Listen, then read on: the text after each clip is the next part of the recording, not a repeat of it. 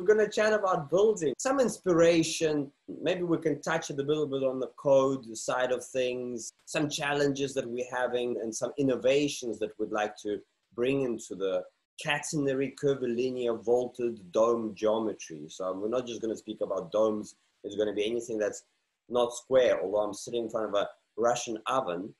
And thankfully, it's the coldest thing in the house. In, in summertime, it acts as an air conditioning because it's like 5,000 bricks and this thing is just stable in temperature. So Hajjar, how are things on your side? Yeah, things are good. You know, life in Hawaii is just, you know, so nice. Um, Gabe is here and we're just finishing up some domes that we started in January, mm-hmm. taking a break from doing workshops.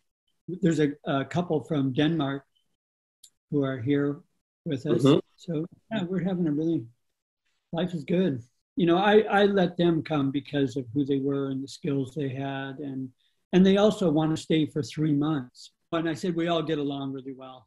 So, oh, that's nice. That, that's a thing with volunteers, especially if you're having them. That's one of the challenges, like you know, getting people onto your land. You know, it's obviously there's no people around here except us, and you know, we we we're in this abandoned village in Russia. Um, so it would be, you know, a, a daily interaction. So uh, you obviously had a few Skype sessions with them or Zoom sessions before you got them here, correct?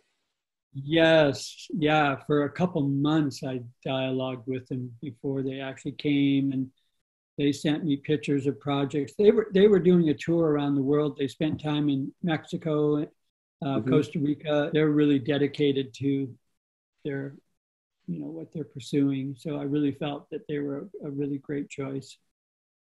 Yeah. From my side, I've started the founding tires. I'm developing this um, home for cold climate. Although I'm boiling last two months, really hot here, really, really hot. Nothing like Canada, where they're having plus 54 Celsius in British Columbia. The whole, the whole the world is doing that in the northern hemisphere right now that's what I'm building here is a temple where I can host ceremony. Domes are beautiful spaces for that. Are you using some special geometrical proportions to get some form of resonance inside?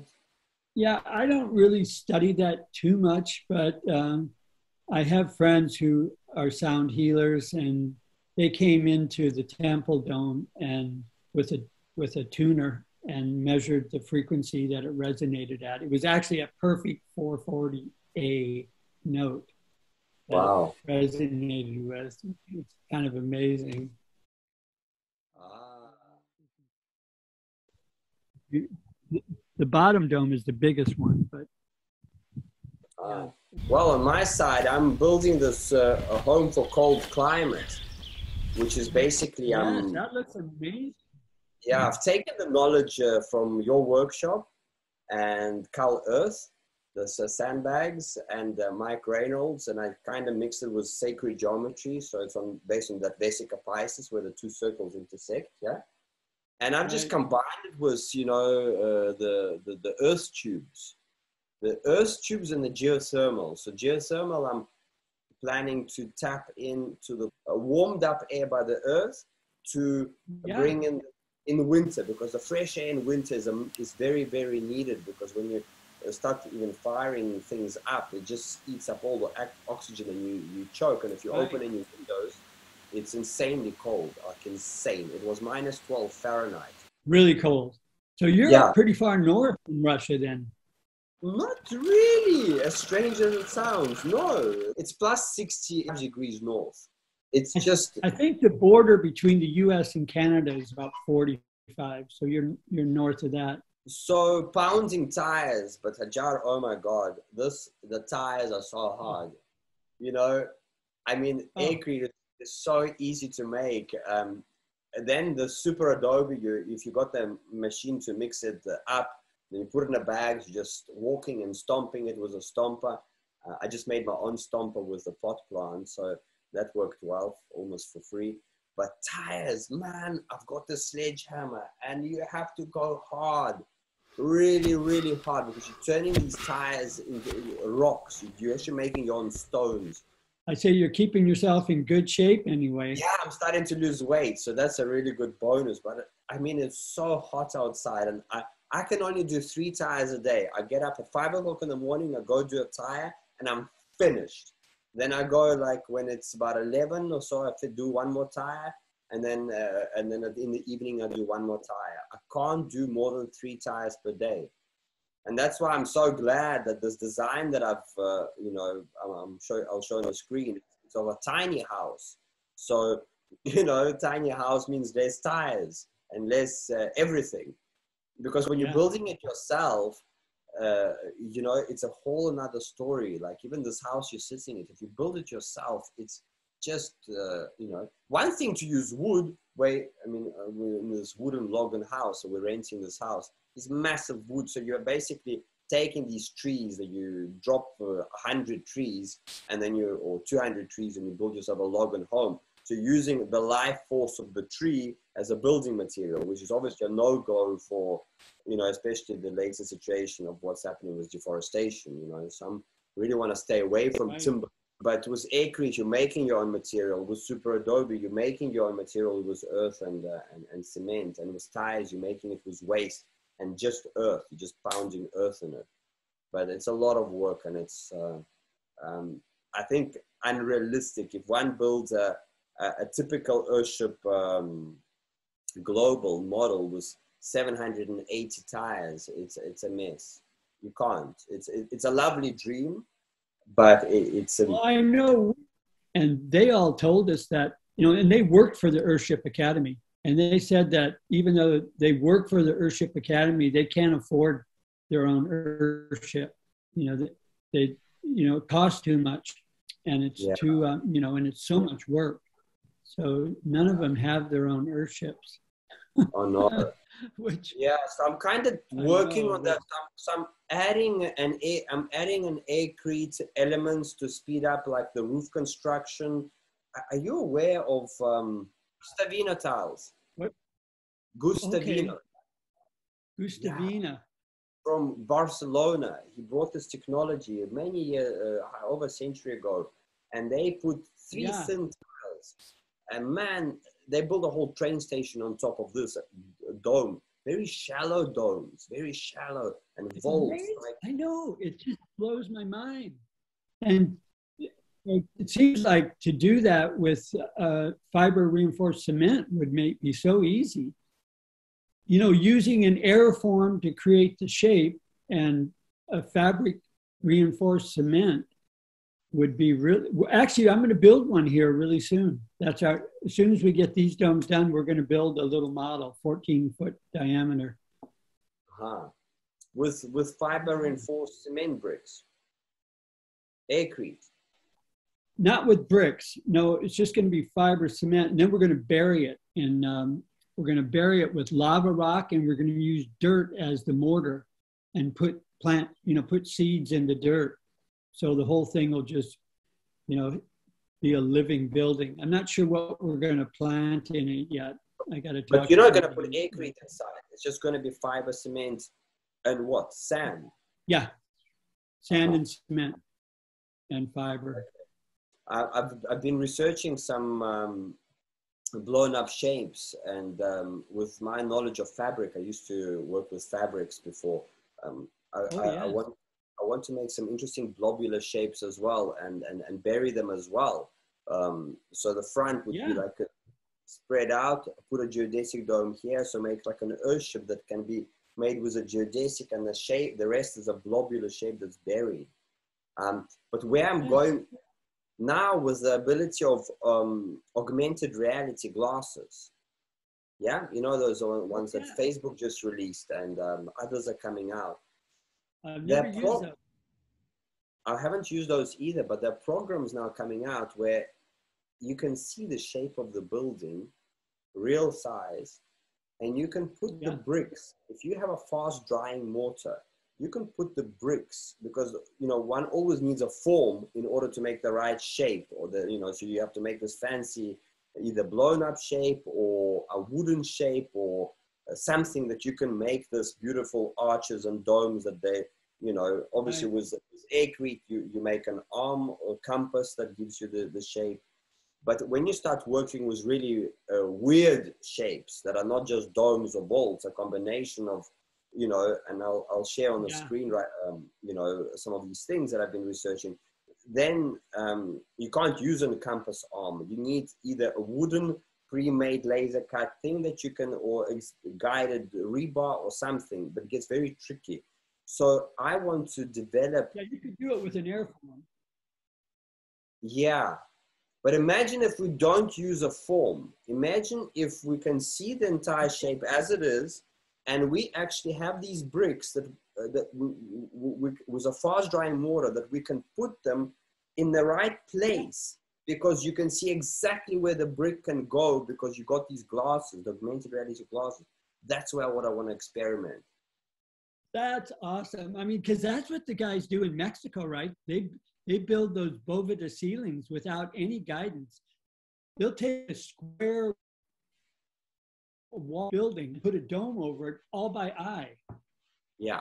And now, but that's like many, many years of experience. Yeah, they've been doing it so long. It's like they have those virtual reality glasses on without really having them. It's in their their intuitive mind knows where to put. Now imagine we can bring it to our students that people can never build with bricks, can see the whole thing real size, and they just trim the brick. Sure, you still need to smack the brick and and and. and uh, when yeah. you come to the corners and so on, but it's a fast drying mortar that Gustavino yes. tiles used, to research Gustavino and uh, because just stick it and it stays.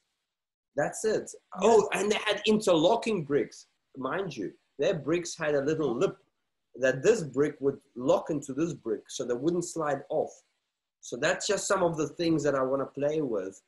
Um, I love that idea of the, using the augmented reality, but it yeah. still seems like it'd be so much easier just to have a whole membrane that you just spray cement on and you're done. I know. Again, Hajjar, if you're speaking with just dome, uh, working out a, a, um, a, form where it's a few like like orange slices and you stitch it together, that's awesome. But if we're starting to talk weird shapes, but weird shapes. I mean, think about the bouncy houses. You've seen bouncy houses, right? That yeah. they make for yeah, yeah, kids' playgrounds. They make all kinds of weird, any kind of shape you can imagine. I know. I used to work out these these shapes. It takes a lot of mathematics because I used to work with spandex, the, the swimming costume material that stretches, and I yeah. made really liquid, flowy shape that was stretched in space. And there's some serious mathematics you had to calculate because, you know, because the fabric comes in five feet wide, correct? And yeah. you only have that, so, and you need to make a shape that's really uh, interesting. And then, you know, I'm just saying the calculations there are not for everybody. That's, but I think a, they have computer programs now. I mean, even SketchUp has a, a plugin called Unwrap and Flatten, where you can create complex shapes and then it'll just show you the cutting pattern. You have to still, you know, kind of design it in flat segments, but the airform will then fill it out into a more complex curve. But yeah, yeah, that's yeah, yeah, that's so, I, I, that. But making something that's uh, people anywhere in the world can put the glasses and see the shape. I think so. They build their walls. brilliant. Yeah, they build their walls using tires, sandbags, whatever method, and they create the. Yeah, the, the I love that. That that is brilliant. I've never heard of anyone mention that idea before. I think it's. I've seen your beautiful dome not even the dome. I've seen your beautiful home that you guys built in Costa Rica, I believe it is. A beautiful white with a vault on the side and a few domes together. Oh, yeah. It was a really nice project. Uh, I'd love to share, if, with your permission, some pictures of this on, on, your, on this video. Yeah, you know, it was Rafa working with the owner, and that's, you know, they developed the design. And yeah, it turned out really nice. And are there any interesting projects like that that you're working on, or you're just doing the stuff on your land right well, now? Well, you know, we've had so many students now over the years, and we just got engineering approval too. So there's, yeah, we got a, a major engineering firm uh, called us up because a couple of our students approached them to do projects, and um, they wanted to, you know, permit the structures. And so in America, in America, their their main office is in Oregon, but they're licensed in every state and in Canada. They do every kind of engineering. So, what does one need to do if they build them? If they want to have an approved aircrete dome um, or, or, or, vault in in USA or Canada? It starts with us submitting a professional drawing, correct? Yeah, you need a, you need construction drawings that you send to the engineering firm. The engineering firm looks at them and puts their stamp on it. If they have a really a, a professional enough drawing, that's a really good step towards uh, having an approval. So you can either have an architect draw you up a drawing, which is going to cost a lot of money, or a student can learn how to draw themselves in SketchUp or another 3D software, add some details, uh, section details, top plan views, you know, all of those, foundation, floor plan, and so on, and then submit these drawings themselves, which is not that hard, especially for dome structures, yeah. correct? Yeah, what we're planning to do is develop a, a whole diverse collection of designs that are already approved and with, you know, kind of like we did with Steve's, um, but a little bit more professional.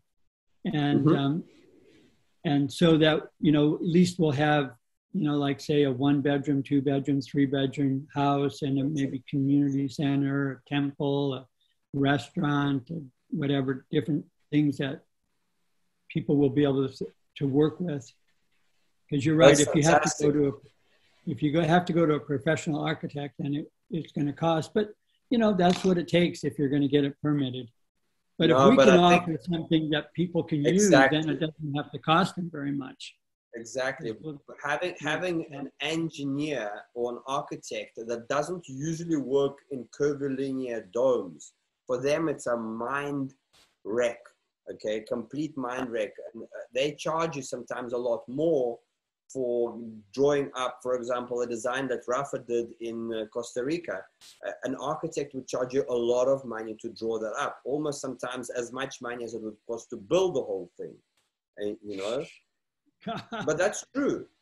That's true. Our architect professional architect that uh, that you know so where i'm going with this so from your side you will be providing uh, ready-made plans for various structures such as different size homes, um, restaurant, temple, which is great because a lot of the people will, will, will cover most of their needs there.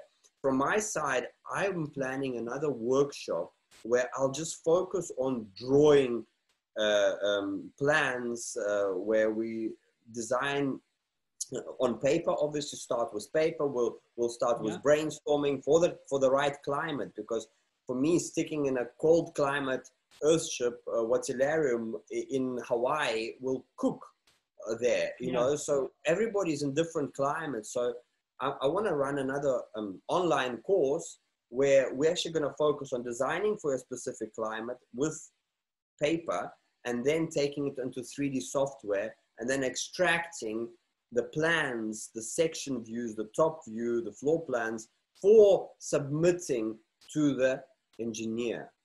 And that's what I would like to, you know, share this um, with your students as well, because I think that will be something important. Ask a last question. Are there any uh, strategies for cooling, for cooling the domes?